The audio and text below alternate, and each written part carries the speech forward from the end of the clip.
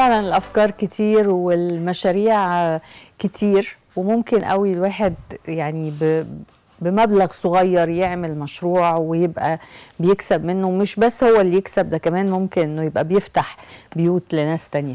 فمهم قوي الحقيقة إنه الواحد يعني يبقى عنده الأمل وعنده الطموح إنه يقدر يحقق اللي نفسه إنه يحققه. آه، حلقتنا النهارده زي ما قلت بنتكلم عن أهمية إنه الشباب يبقى بيشوف بنفسه وبنفسه آه، المشروعات اللي بتحصل في آه، بلده.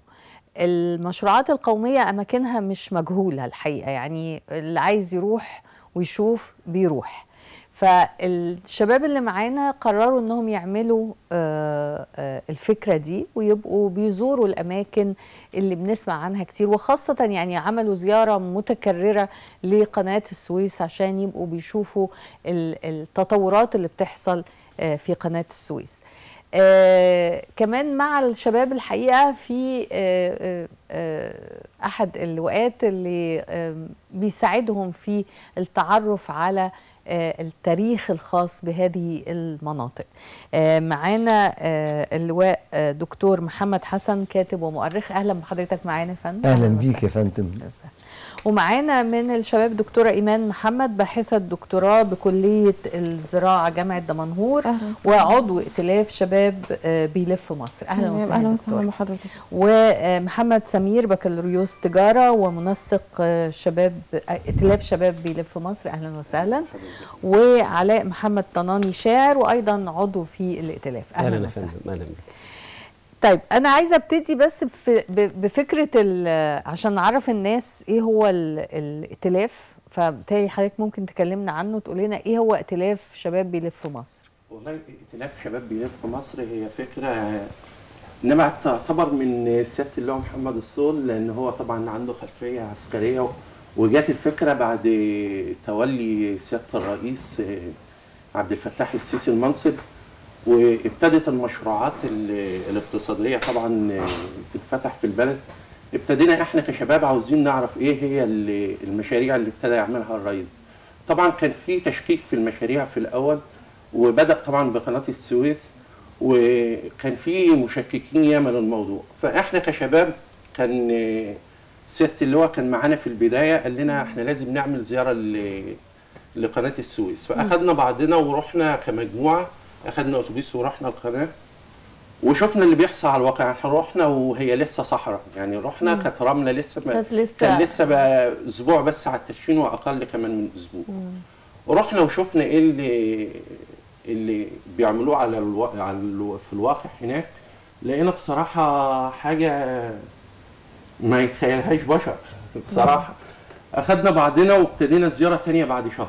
رحنا بعد شهر لقينا اتعمل حاجة تانية غير اللي إحنا كنا فيها من شهر آه، غير الأول يعني يمكن مراحل ما تتعملش في سنين. ابتدت الزيارات تتكرر ورحنا يمكن إحنا أكتر جروب في مصر كلها رحنا قناة السويس رحنا حوالي 11 مرة بمعدل. كل شهر مرة. آه والله. وطبعا كان بيبقى معانا جروبات آه، من جميع مش من البحيرة بس من جميع المناطق. وابتدت الفكرة بقى معانا اللي إحنا في مشاريع بعد كده اتعملت تاني في العاصمة الإدارية الجديدة في العالمين الجديدة في مناطق ابتدت تروح لمدينة الأساس في دمياط. ابتدينا بقى إن كل شهرين ثلاثة كده نبتدي نعمل زيارة لمكان جديد. وكانت دي الفكرة بتاعتنا من البداية. عددكم قد إيه تقريبا؟ لا إحنا ال group بتاعنا تخطى حوالي 3000 يا آه بس لما بنيجي نطلع طبعا ما بيبقاش ال group كله. يعني لما بنيجي نطلع بنختار فئة معينة والفئة الثانية اللي عايزة تطلع تطلع مشروع ثاني تطلع بعد حاجة تانية. آه. تمام. طيب دكتور آه، آه، سيادة اللواء أنا عايزة برضو أسأل حضرتك آه، إيه إيه فك أو أهمية قناة السويس التاريخية؟ دي دي ده سؤال ممكن الناس تكونش تعرف. أهمية قناة السويس التاريخية من الناحيه التاريخية. طبعا ما حدش يقدر ينكر إن قناة السويس اللي اتحفرت بأجساد المصريين بالصخرة وقصة الدليسيبس القصة دي كانت شريان حياة للعالم كله. وفعلا من أفضل المشروعات العالمية مشروع قناة السويس اللي بيربط بين البحر المتوسط والبحر الأحمر.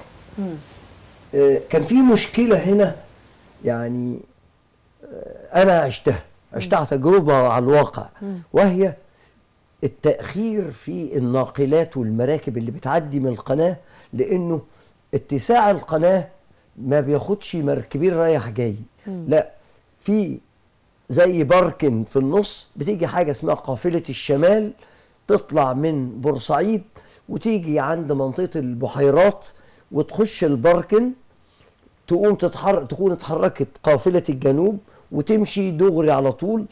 كانت بتضيع من ساعتين لثلاث ساعات في الوقفة دي. آه، محدش يقدر ينكر يعني.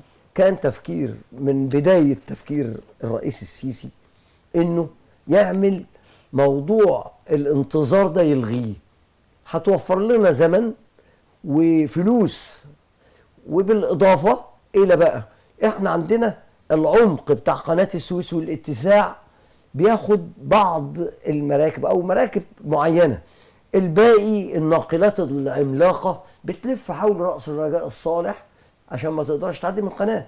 يبقى يتعمل تفريعة جديدة وهي قناة السويس الجديدة طولها 36 كيلو متر نمرة اتنين عمق تم تعميق عمق القناة إلى 40 قدم وده يخلي كل الناقلات العملاقة أي مركب في العالم تعدي من قناة السويس. زائد الاتساع. يبقى لغينا الانتظار والكلام ده. آدي قناة السويس اللي أنا بعتبرها عالميا. شوفوا إحنا مضيق هرمز والمضايق اللي فيها خلافات إلا قناة السويس. قناة عالمية. بتحرك حركة التجارة العالمية بين أوروبا وآسيا وإفريقيا. العالم كله. ف أنا لما بدأ يمكن أنا بتذكر كويس قوي سيادة الرئيس وهو بيكلم اللي هو كامل الوزير في قد إيه يا كامل؟ قال له ثلاث أيام. قال له سنة واحدة. ودي درس أنا خدته في كل حياتنا وفي المشاريع اللي بتتم دلوقتي وللأسف إحنا عندنا محطة سكة حديد بقى لها ثلاث سنين. قناة السويس اتعملت. ده أنا بقول للناس كلها دايما. هو لازم الريس بقى كل حاجة هو اللي يقولها. أنا أتمنى كل هيئة وكل جهة يكون فيها القرار القوي اللي بيستمده من قائد قوي. تمام. طيب دكتورة إيمان آه، بما إنك واحدة من المشاركين في ائتلاف الشباب بيلف مصر وقلتي لي كمان إنك عضوة في آه، متطوعة في المجلس القومي للمرأة آه،. بالبحيرة. آه. آه، مقررة الفرع الباشمهندسة زكية رشاد وبقيادة الدكتورة مايا مرسي. تمام. طيب أنا عايزة أسألك عن أهمية إنه